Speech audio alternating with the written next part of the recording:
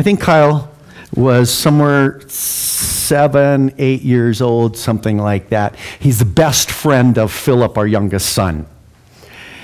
And uh, they, we lived on the same street, just a short block from one another. These two guys grew up, um, born, same, really close together. They grew up like brothers. I mean, Philip and Kyle were inseparable. Uh, they both eventually were in the band. They both went to Scottsdale Christian Academy. They spent years together and just loved each other. I mean, these guys were special. We got a phone call that Kyle had been hurt and broken his leg, it sounded like, and was taken to the hospital. I think I got to the hospital about the same time that Linda, Kyle's mom, did. So um, he had actually moved, they, they actually had him in a room, which was amazing. And the doctor came in and had, had all the x rays and stuff like that. And they decided that they were going to have to put traction into his leg and they were actually going to drill through his leg and put a pin in there and then hook traction onto it. I don't know what the doctor was thinking, if he thought I was the dad or what. I thought I introduced myself as the pastor. But he says, um, I need you to hold Kyle while we do this. Now, they gave him medication and all, and supposedly he wasn't hurting. I say supposedly because for what seemed like an eternity, this doctor's trying to drill on this kid's leg. We're holding, Linda and I are holding him down, and he's screaming, Mom, stop him! Mom, stop him! Mom, stop him! I'm like, give him more pain medicine. How come we're doing this? Couldn't you at least put him to sleep? This is torture. And I'm not sure who was feeling more of the torture, Kyle or Linda and I. Why were they doing that? Now, afterwards, as soon as the doctor was done, Kyle was just kind of like, okay, he was fine. Had this pin literally through his leg up here and traction on it, um, and almost as if it hadn't hurt at all. But I'll tell you, Lynn and I were sure traumatized. and I'm not even his dad. But sitting there holding this little boy, oh man, it was one of those tough, tough moments. And you're, and you're like, okay, are you sure this isn't? I think I'm more than once. Are you sure this isn't hurting? Dude, can, can you stop? I mean, already, you know, how long is this going to go on? You know, if you've been a parent and you've taken a little child into the hospital, have you ever been one of those times where they were in the cage? Little, little ones? They used to put them in the a crib kind of i call it a cage because it literally had rails all up the side and, and as they take them into surgery they're all inside of that and you're like you know ah you know, what are you doing to this child of mine? I mean it's tough it's painful. Why in the world would a parent do such a thing? Because because linda and i love kyle. And we knew that he had to go through that in order for that leg to heal properly. And we endured what was, in, in some ways, still a nightmare. And, and I have to wonder if it wasn't a nightmare for, for Kyle. I mean, oh my goodness. We endured that because we knew that the pain was going to lead to healing. Our, our, text today is a great text that talks about clothing yourselves with love. Clothe yourselves with love. The, the, the title and the focus that I want to ask you is Does love ignore sin? Does love ignore sin? If, if Linda didn't want to hurt Kyle, what would she have done? Uh, sorry, Doc, you're not going to do this. As soon as he started going in there and Kyle's screaming and mom stop him mom stop she, if she if she didn't want him to hurt what would she have done? Doc you stop right now. I'm taking over and you're not going to do this to my son. You're not going to hurt him. Really? And Kyle would have been what? Crippled for the rest of his life crippled. Because this, we're talking about a pretty serious break right up here. What's that, the femur or whatever? I mean, it was serious. Major, major break of his leg. and he would have been crippled the rest of his life. Now, which, which love, which love's going to win? The love that just doesn't want to cause any pain, so, so you just don't do anything. The love that says, I'm just not going to point out sin. How many of you have seen a child in the grocery store and the parent has decided not to point out their sin? And the behavior gets just a bit unruly, and, and, it's, and it's actually literally affecting and influencing you because of whatever that child might be doing screaming, yelling, hollering at mom, telling her to shut up. I mean, whatever, right?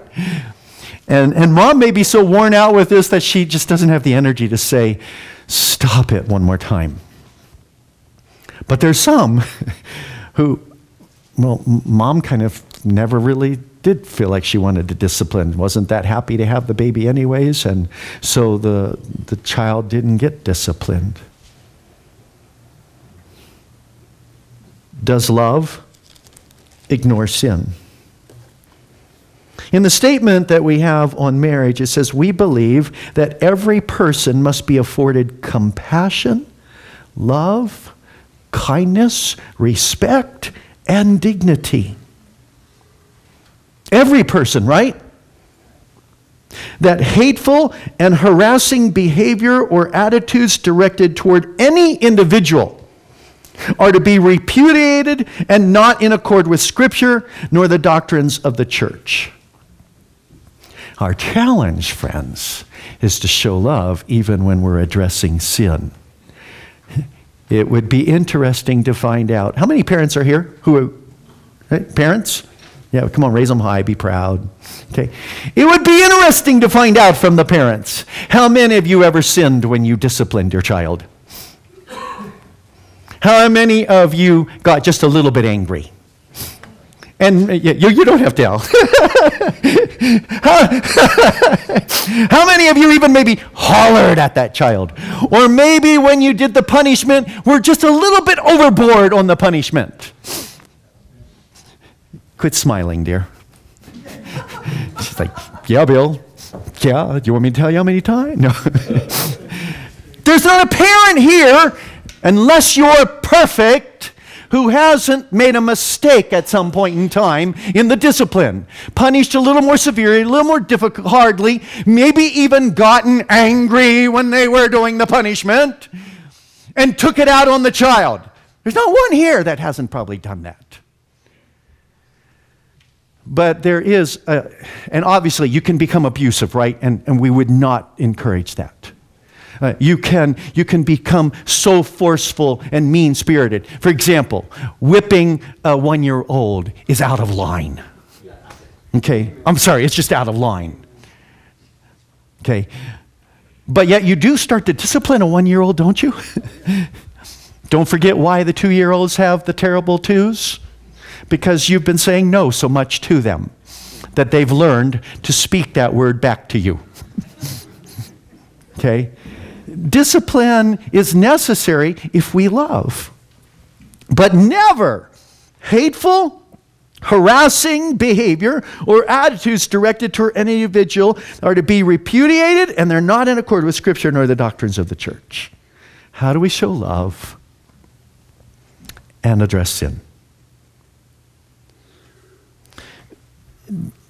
Does Jesus ignore sin? Jesus, Jesus is so loving, isn't he? Uh, well, we would say, no, he didn't, he didn't ignore sin, at least not with the Pharisees. But is it only the Pharisees that he points to sin?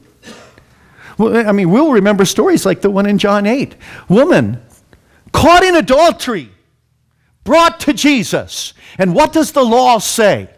The law says if you're caught in adultery, you must be stoned. And they bring the woman. Uh, by the way, just, just a little parentheses here. The law said that they were both caught, who were caught in adultery, because you know adultery doesn't happen with one person. Just, just, you know, in case you didn't know that. Adultery is two people. And if you're caught in adultery, that means both people got caught, right? So if you were going to bring the people caught in adultery to Jesus, who would you have brought to him? Not just the woman, but the man too. But, I don't know, I guess the guy must have slipped away. Who knows? Or was he a setup? Who knows? But they bring the woman caught in adultery and they say, okay, here, stone her. And you know the story, right? Jesus says, well, okay, if, if we must stone her, whoever is without sin, you go ahead, you throw the first stone. And he starts writing in the sand. I like to try to think about what he might, might have written in the sand, right? You know, okay, here's the date that you sinned. Here's the date you sinned. Here's what you, I don't know what he was writing in the sand, but he was writing. And as he's writing, they all walk away. Because every single one of them knows that they've all sinned and fallen short of the glory of God, even though that's a, a, a verse from Paul, they still know the fact. They're all, they all have sinned, and they all leave. And he looks up at the woman and he says, Where are your accusers? Well, um, they've all gone. And then he says these incredible words. He says, Neither do I condemn you. Now, does he stop there? No, No, he says something else, and it's really critical to hear this. Go and sin no more. I don't condemn you, but now go and sin no more. Did Jesus ignore sin? Oh my, not at all. And he's the one, by the way, incidentally, who has the right, doesn't he? He's the one without sin. And if he had thrown a stone as he had authority to do, what would the rest have done? Thrown their stones, wouldn't they? But Jesus is here for one purpose. Why did Jesus come? Well, think about this. Jesus came. In fact, Matthew 1 21. She will give birth to a son, and you are to give him the name Jesus. Why? Because he will save his people from their sins. Mary is told to name Jesus Jesus because he is coming for one purpose. And what's that purpose? Save people from their sins. At the end of Luke, when, when we're finishing with this whole commission for ministry, he says, and repentance and forgiveness, this is chapter 24, verse 47. Repentance and for, forgive, for the forgiveness of sins will be preached in his name, Jesus, to all nations, beginning at Jerusalem. In John 8, it says, right before Jesus makes an incredible statement. He says, You will know the truth, and the truth will set you free. And then in verse 34, very truly I tell you, everyone who sins is a slave to sin. And then verse 36, so if the Son sets you free, you shall be free indeed. Does Jesus ignore sin? No, because he came to free us from sin. And so he's going to address it. He's not mean spirited about it unless you're a Pharisee religious person who's ignoring everything about it, and then he might call you a hypocrite. But he is addressing sin. Matthew 9. While Jesus was having dinner at Matthew's house, many tax collectors and sinners came and ate with him and his disciples. And when the Pharisees saw this, they asked his disciples, Why does your teacher eat with tax collectors and sinners? But go and learn what this means, Jesus said. I desire mercy, not sacrifice, for I have not come to call the righteous, but who? Sinners. Does Jesus ignore sin?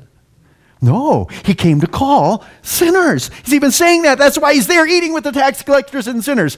I, I came to call people who are sinning. The guys that you, you know they're sinning, even. And there's more than one place where he makes that same statement I have not come to call the righteous, but sinners to what? to feel good about themselves. I, have called, come to call sinners so that everything can just be okay and they go on because this is just the way they were born. No, and he says, I've come to call sinners to what? Repentance. To change. Matthew 9, I want you to know that the Son of Man has authority on earth to forgive sins. And how does he prove that he has that authority to forgive sins? He heals the paralytic. He tells the man, Get up and walk. I'm going to prove to these guys that I have authority. Because what's easier to say, Stand up and walk? or to say your sins are forgiven. Well, if you don't really have the power to say your sins are forgiven, then it's sort of easy just to say, oh, your sins are forgiven. But to prove, he says, that I have authority to forgive sins, and they're all upset about that fact, he says, now, to prove it, you get up and walk. And the man gets up and walks. What did Jesus say about the Eucharist? Communion. He said, This is my blood, the blood of the covenant, which is poured out for many for what? For the forgiveness of sins. Jesus sets this brand new meal up for us, and the meal is a reminder that Jesus comes to forgive sins. And then Luke 17, watch yourselves. If your brother or sister sins against you, rebuke them. And if they repent, forgive them. We actually have responsibility for one another. Therefore, Colossians 3 12 to 14, as God's chosen people, holy and dearly loved, clothe yourselves with compassion, kindness, humility, gentleness, and patience. Bear with each other and forgive one another if any of you has a grievance against someone. Forgive as the Lord forgave you. And over all these virtues, put on love, which binds them all together in perfect unity. God says, Look, because I've chosen you, I want you to get dressed like one of my children. And here's what you should put on if you're going to dress like one of my children. He says, put on compassion. Compassion. Uh, and, and the word there is, it's a heart of compassion. It means to, to have feelings with action. You know, and, and the word is, it comes from the word splankna. It's the word for guts. When you, when you feel stressed, where do you feel it? In your feet? No, generally in the gut, right? And, and, literally, that's where they thought of as the, the, in a sense, the heart. It's the seat of emotion. He says, look, you need to put on compassion. You need to clothe yourself with feeling. It needs to affect your gut. You need to have something working on you on the inside, and that needs to come out in your actions. You need to do something about it. Larry Richards said this word for, for compassion is a pitying exclamation torn from the heart at the sight of another's suffering.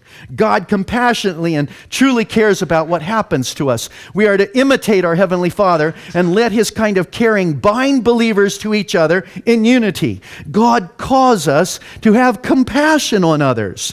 That call is more than an appeal for us to feel and for for the needy. It is a call to care enough to become involved and to help by taking some action that will set others' lives on a fresh new course. When I'm holding on to Kyle, I had to have compassion.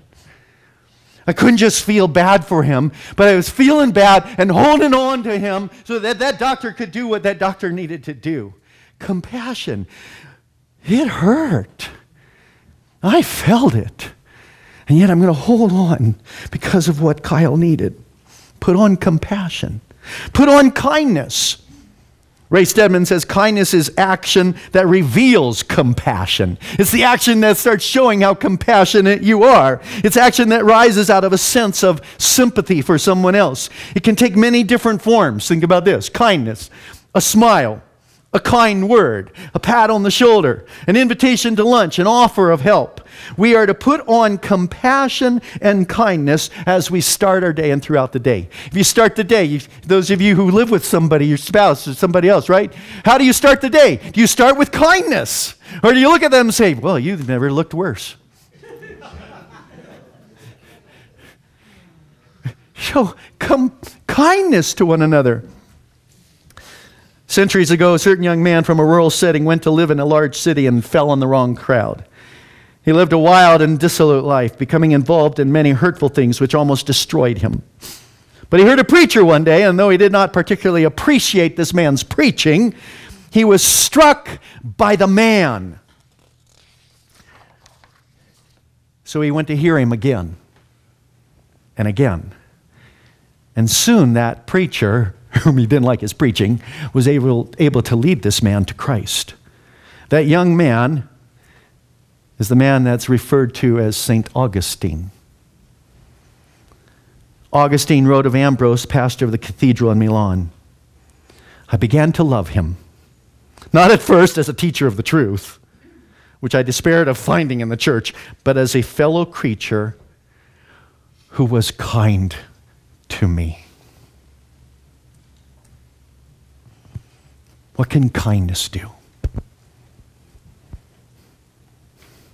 Put on, in addition to compassion and kindness, put on humility. It's interesting, there really isn't a Greek word for humility. The Greeks and the Romans didn't believe in humility. They were prideful people and they thought humility was a weak thing. And they thought it was a, a terrible thing to say. Those Christians are humble, as if that's something bad.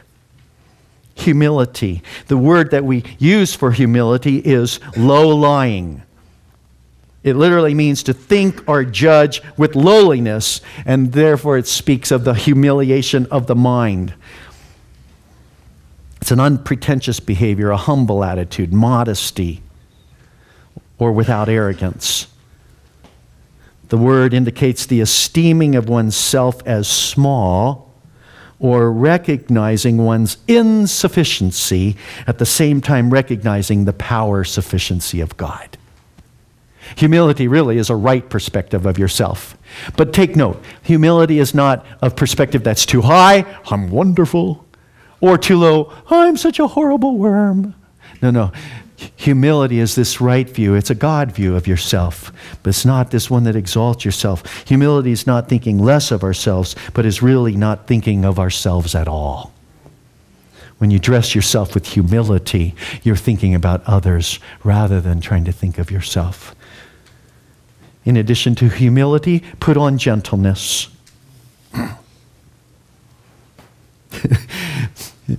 well, the definition I found for that is it, the quality of not being overly impressed by one's own self importance.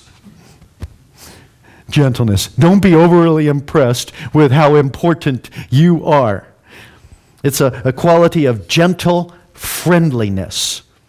Another word that we've used for it is meekness, which also translated literally is strength under control.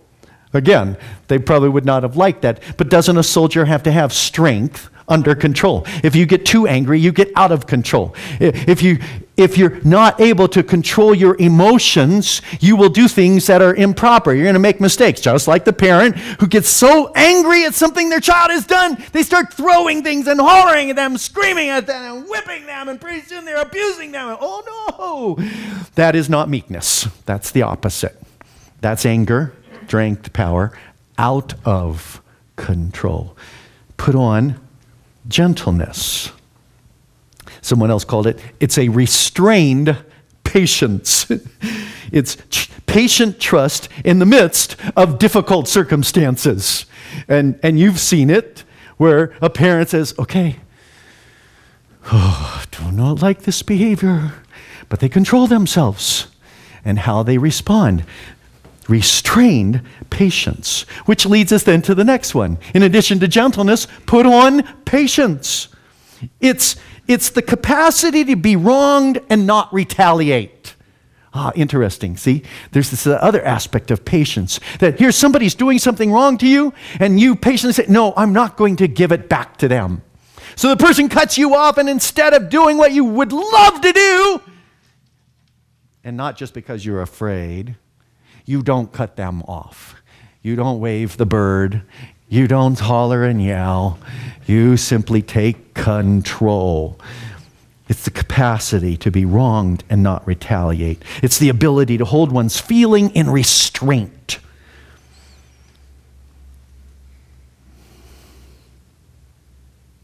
It's what God does with us.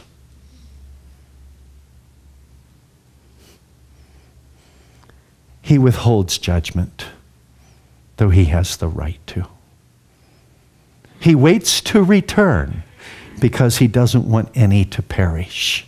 He has not destroyed evil or anyone on the side of evil at this moment because he is still hoping that people will change, will repent, will come back to him. So put on patience. It's that self restraint that does not hastily retaliate for a wrong. it bears insult and injury without bitterness and complaint. Oh, did you have to say that one, Bill? So patient means I'm not going to complain. Romans says the kindness and patience of God is what leads us to repentance. 2 Peter 3 9 says, The Lord is not slow about his promise, as some count slowness, but is patient toward you, not wishing for any to perish, but for all to come to repentance. And so he waits and he withholds judgment, he withholds punishment like we probably deserve because he wants us to come to him.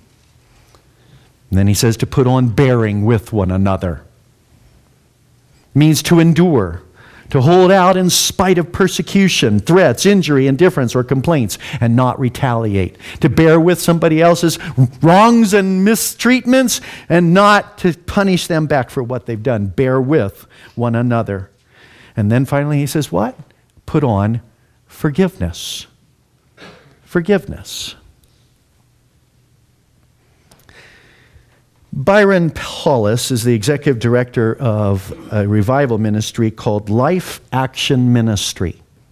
Spoken to thousands of people. In fact, he says, after reaching out to more than 4 million believers in 6,000 churches during the past four decades, our team of revivalists would unanimously concur that the number one problem they encounter in the church is what? Unbelief forgiveness. He says, bitterness is rampant, forgiveness is not. And in church after church, as Life Action proclaims the truth about bitterness and forgiveness, we hear powerful testimonies of God setting captives free. The road to forgiveness in my life was grounded in the biblical example modeled by Joseph, a man who had every reason for bitterness and hate, yet who emerged from years of rejection and hopelessness as a forgiver, full of grace, still honoring the Lord. For me, true forgiveness has meant daily choosing between two options, two responses in my soul. Paulus says, forgiving or bitterness. Which are you going to choose? Put on forgiveness. How did Jesus say it? If you forgive anyone's sins, their sins are forgiven. If you do not forgive them, then what? They are not forgiven. And then finally, as he's concluding this text, he says, And now, over all of this, it's kind of like the, the coat on the outside of all these other articles of clothing. He says, over all of this now, he says, put on what? Love. Put on love. Hebrews chapter 12.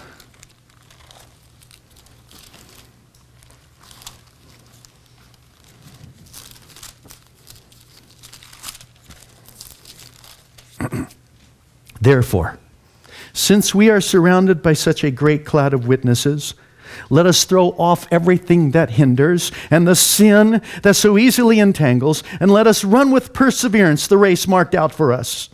Let us fix our eyes on Jesus, the author and perfecter of our faith, who for the joy set before him endured what? Endured the cross scorning its shame, and sat down at the right hand of the throne of God. Consider him who endured such opposition from sinful men, so that you will not grow weary and lose, lose heart. In your struggle against sin, you have not yet resisted to the point of shedding your blood. Has anybody died trying not to sin?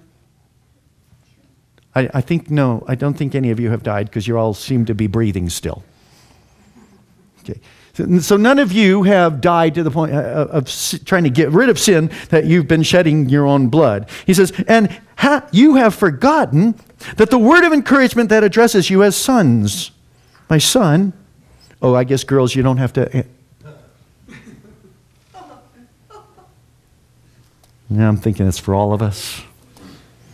Do not make light of the Lord's discipline, and do not lose heart when he rebukes you, because the Lord disciplines those he loves, and he punishes everyone he accepts as a son. Endure hardships as discipline. God is treating you as sons. For what son is not disciplined by his father?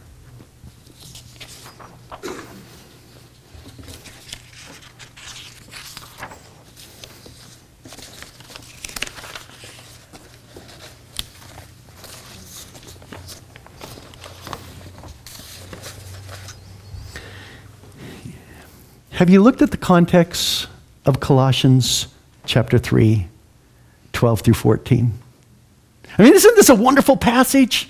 Look, therefore, clothe yourselves with these wonderful things compassion, kindness, gentleness, meekness, hum- humility, bearing with one another, forgiving one another, just as you've been forgiven by Jesus. And over all of this, put on love.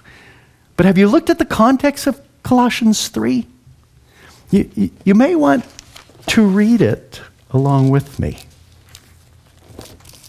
He starts out, because don't forget, in verse 12 it says, therefore. You, have all heard, this is not my words, so you know, just laugh or ignore me. Um, you've all heard the phrase, when you find a therefore, you have to find out what it's there for. Right?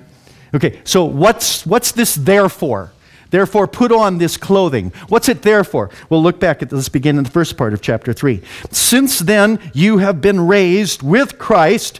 Set your heart on things above where Christ is seated at the right hand of God. Since Jesus Christ died for you and you've accepted his payment for you, now set your heart, set your mind, put your focus on Jesus Christ who's on the throne because he died for you. Set your mind on things above, not on earthly things. For you died, and your life is now hidden from Christ in God. When Christ, who is your life, appears, then you also will appear with him in glory. Okay, we're setting our heart what? On the future, that someday we're going to be there with Jesus in glory. Amen? Put to death, therefore, because we want to get there, put to death whatever belongs to your earthly nature. Okay, let's skip this next session because it's not real fun, okay? He says, Put to death, therefore, whatever belongs to your earthly nature sexual immorality, impurity, lust, evil desires, and greed, which is idolatry. Because of these, the wrath of God is coming. You used to walk in these ways in the life you once lived, but now you must rid yourselves of all, all such things as these anger, rage, malice, and filthy language from your lips. Do not lie to each other, since you have taken off your old self with its practices and have put on the new self, which is being renewed in knowledge in the image of its creator. Here there is no Greek or Jew, circumcised or uncircumcised, barbarian, Scythian, slave or free, but Christ is all and is in all.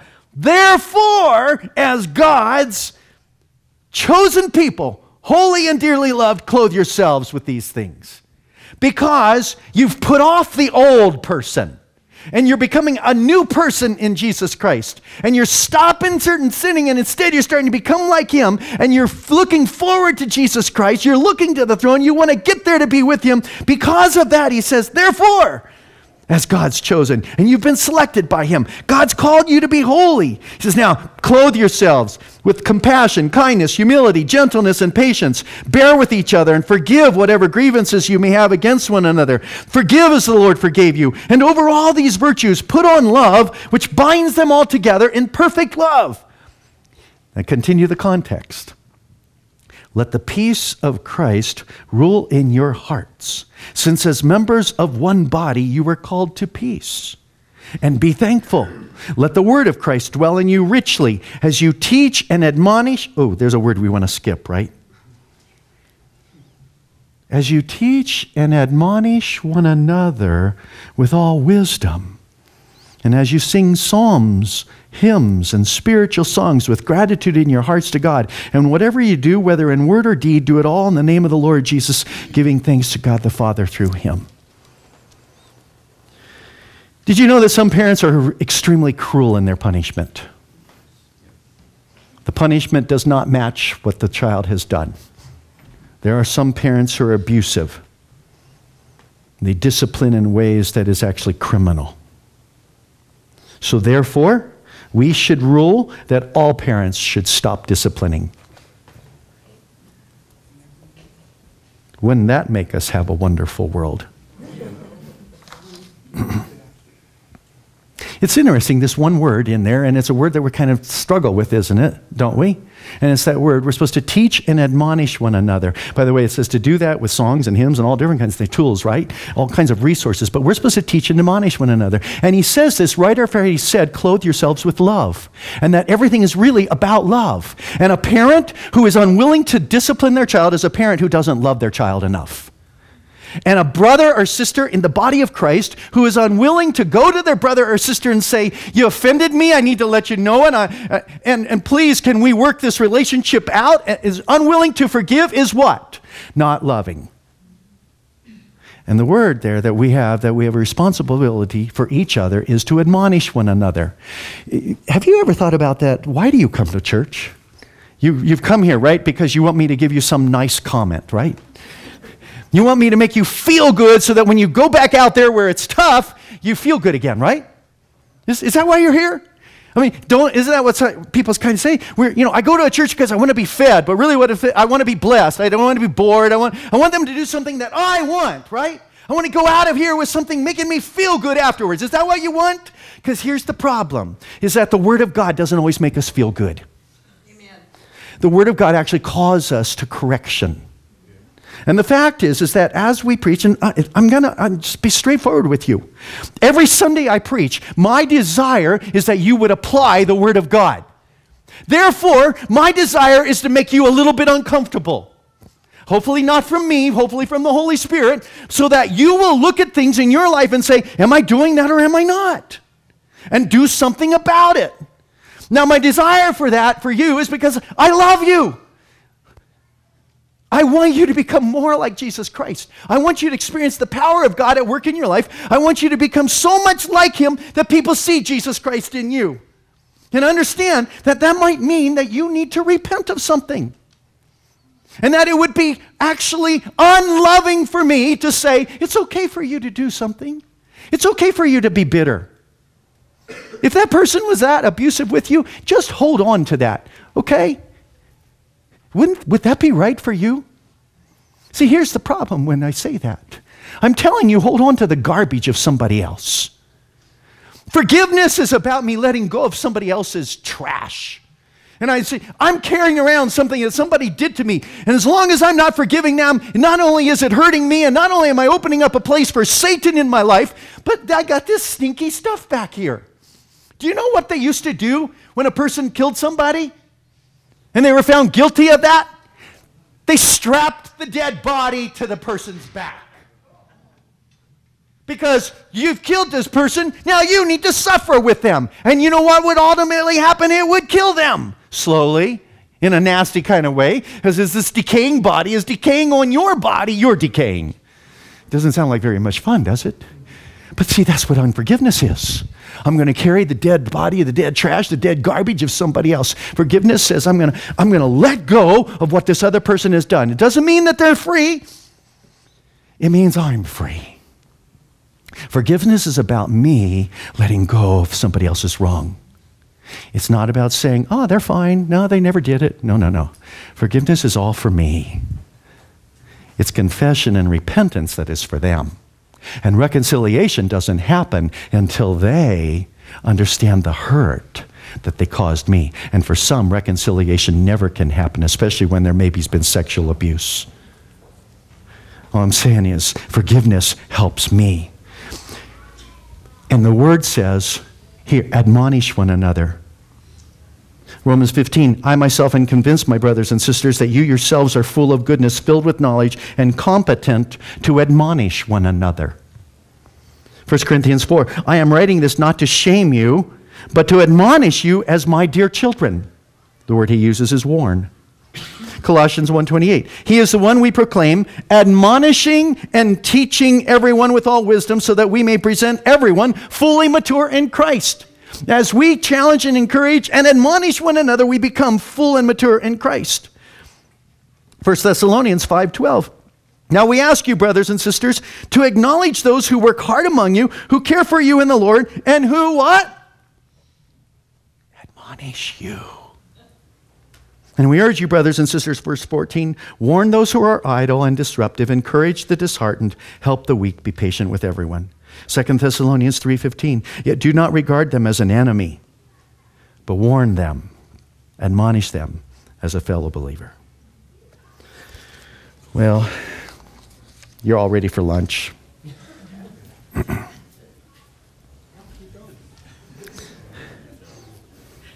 Stories told of a little piece of wood that bitterly complained to its owner, who kept whittling away at it, gouging it and making holes in it. But the one who was cutting it paid no attention to the stick's protests because he was making a flute out of that piece of ebony, and he was too wise to stop when the wood complained so bitterly. The man said, Little piece of wood without these rifts and holes and all this cutting, you'd be just a stick forever, a useless piece of ebony. What I am doing now may seem as if I am destroying you, but instead it will change you into a flute. Your sweet music will charm the souls of many and comfort sorrowing hearts. My cutting you is the making of you, for only thus can you be a blessing in the world. Richard DeHaan says the meaning of this little parable is clear. That flute, whose music blended so sweetly in the orchestra, was made a flute only by the knife and file that filled it with rifts and holes, which seemed to be its very destruction. But the purpose of the master was that it might become a melodious instrument to the praise of God.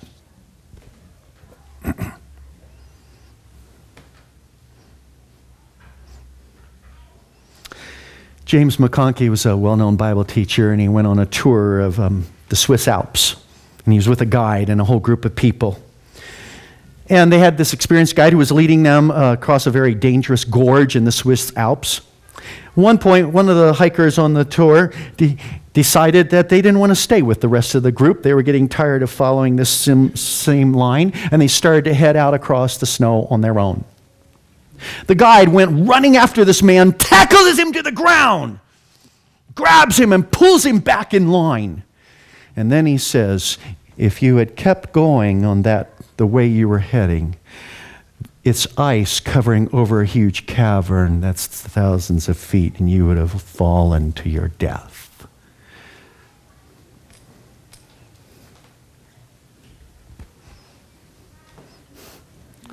Why does love get tough? Because it's love. And if we care about one another, then yes, love will point out sin.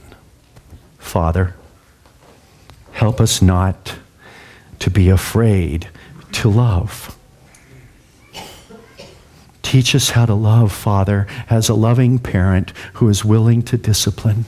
Teach us to love one another. But don't let us get so overzealous at it that we're just going to attack everyone else's sin. As Lord, you've clearly taught us to deal with the, that big plank in our own eye before we go to help our brother with their speck. Oh Lord, Call us to repentance, Jesus. Clothe us with compassion, kindness, gentleness, humility, with the ability to bear with one another and to forgive one another. Clothe us with your love. In Jesus' name.